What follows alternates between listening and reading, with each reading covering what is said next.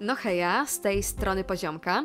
Moi drodzy, w tym roku również będziemy obchodzili świąteczne Q&A u Poziomki, dlatego zachęcam Was, żeby niżej w sekcji komentarzy zadawać pytania do mojej osoby.